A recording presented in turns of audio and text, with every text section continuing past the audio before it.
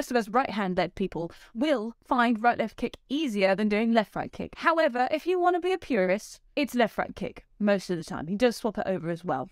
But before you even start trying to put it in fills and stuff, just get used to the sticking and counting with your left hand being on the pulse. One, two, three, four. So this fill. You're going to go snare, floor tom, kick. Next one is high floor tom, kick.